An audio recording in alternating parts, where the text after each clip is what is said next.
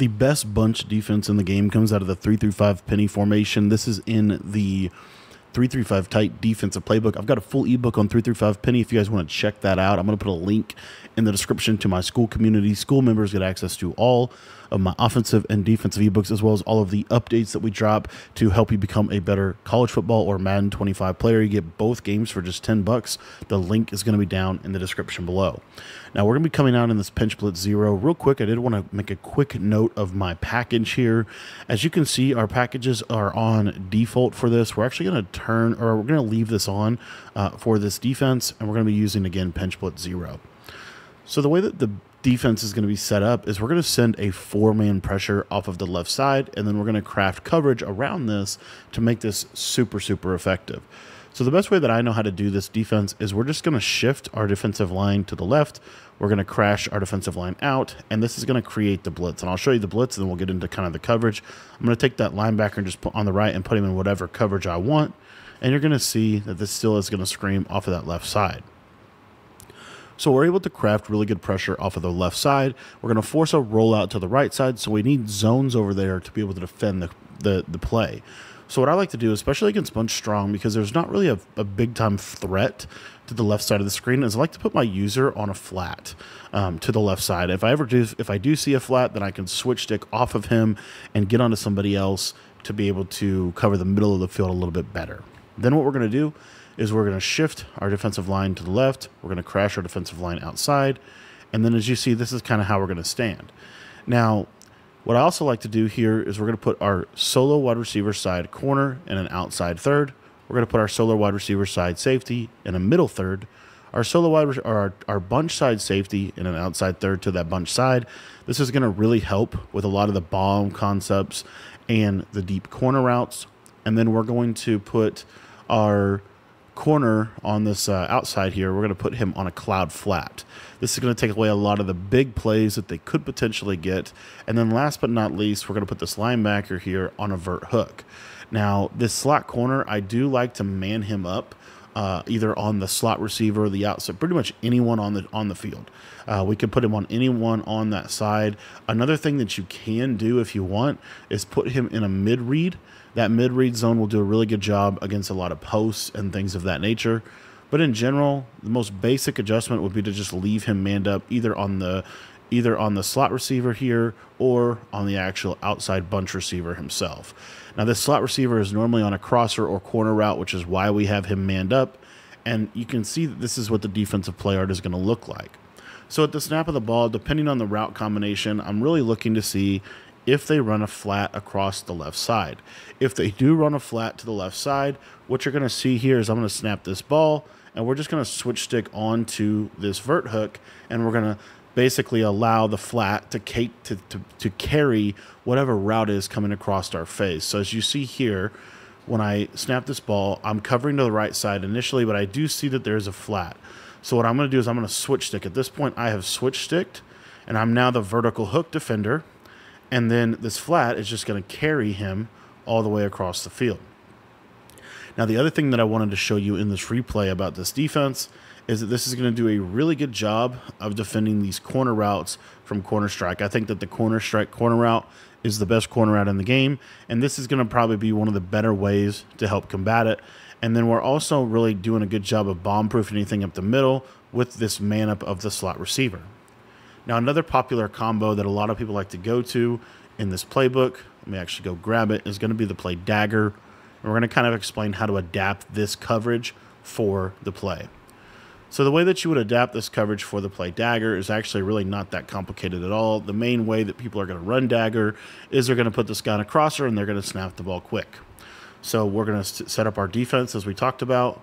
And what you're going to see here, let me just go through and set this up real quick is when we see dagger, we're going to do kind of that same method where we're going to essentially switch stick to the vertical hook and basically take the tight end in route. So it's a little hard to show like a super good user with two controllers as I'm trying to snap the ball, but I just wanted to show you kind of what's happening here and the concept. So at the play snapped, we see, okay, there is somebody coming across our face, and it is this drag route. So at this point, I'm going to switch stick to this vertical hook.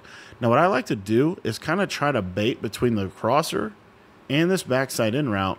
But this is the route that I know that I'm responsible for because this crosser is going to be defended by this middle third, this man up, and ultimately it's going to be a tight throw. If they do make that throw, it's the hardest throw to make on the play, which is one of my big rules for defense is you want to make them make the hardest throw on the play.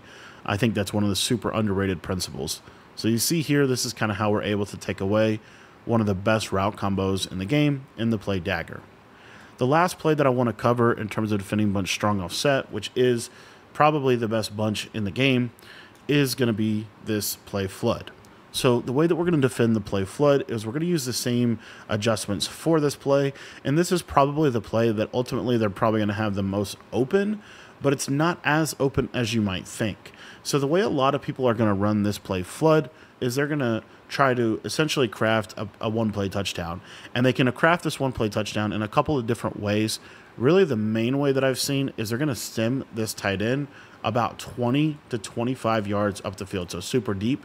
And then they're going to stem the slot corner route all the way down. So it's a double corner concept with a backside dig. The backside dig is really our primary responsibility as a user defender. So what I want to do is I just want to let the play run and we're going to kind of die. I'm going to try to throw this bomb and then we'll look at kind of how the play works out. And because I want to throw the bomb, I'm going to go ahead and I'm actually going to spy the pass rush so that we can really dive into the coverage. So you see here, we're going to spy the pass rush. And we're looking for this circle receiver deep. And as you see, this circle receiver really does not be, is really not that open. Okay. Now let's jump into replay and kind of explain how this defense defends a lot of what this concept wants to do. So the first way that we're able to defend a lot of what this concept wants to do is this short corner route is running into this cloud, which is a pretty decent zone for this. It's also manned up. Okay, and this man up will he didn't play it very good there. If I was to press him, he would play it a little bit better. Okay, and I'll, I'll show you how to do that in a minute.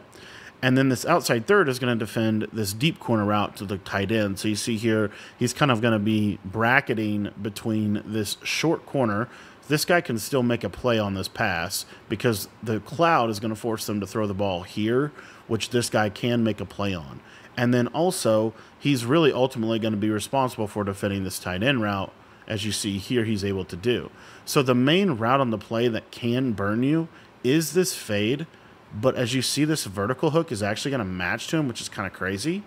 Um, and also, this middle third is going to play out of his mind and be able to get over here and actually make a play on the ball.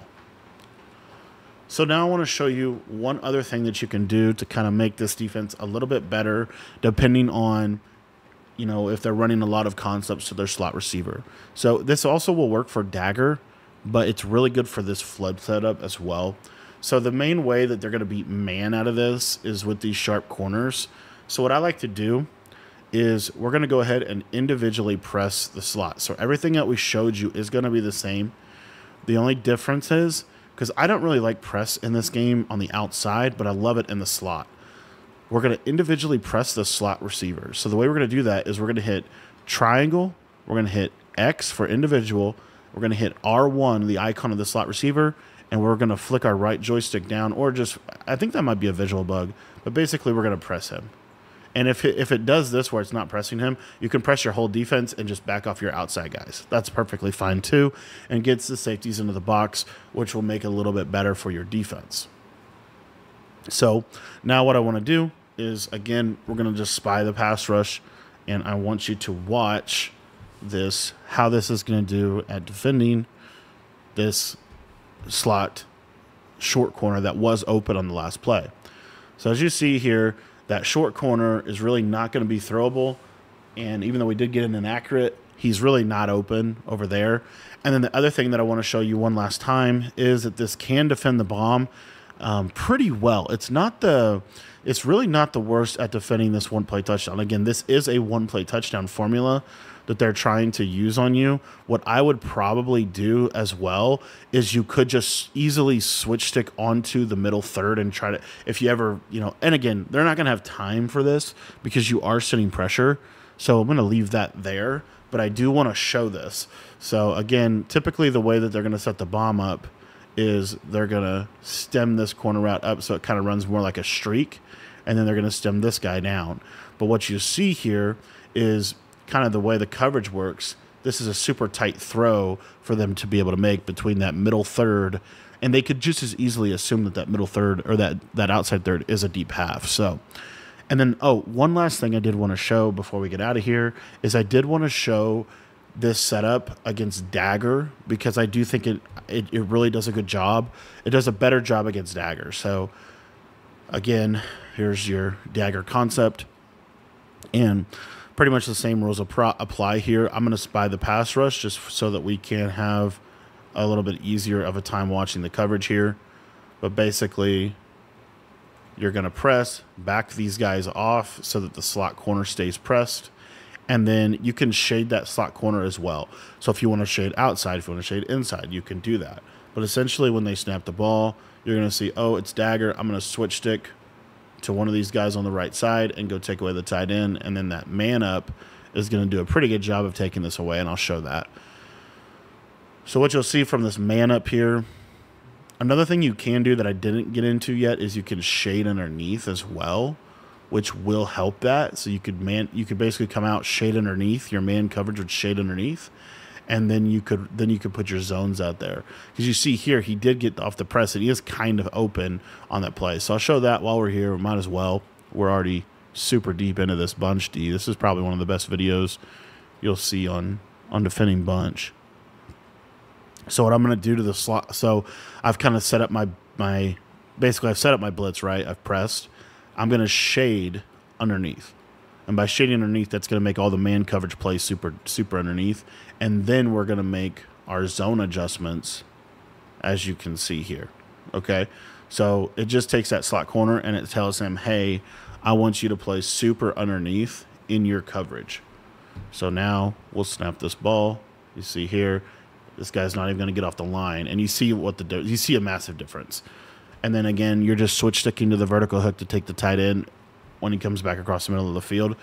But I want to show this replay so that you can kind of see what I'm talking about. So again, all we did differently this time was we shaded underneath, and this just absolutely bagged this crossing route. And I mean, what are you actually going to be able to throw on this play, right?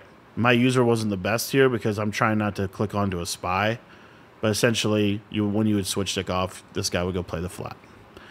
Guys, I want to thank you for watching this video. If you enjoyed videos like this, let me know in the comments. I want to do more videos like this where we kind of deep dive formations and things of that nature, just to kind of explain how to adjust to the best offenses in the game. If you can learn how to stop the best offenses, it's going to make the mediocre offenses much easier for you to defend.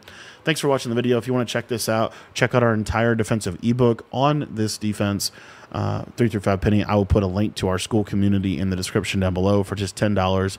You can become a member and get access to all of our college and Madden offensive and defensive ebooks.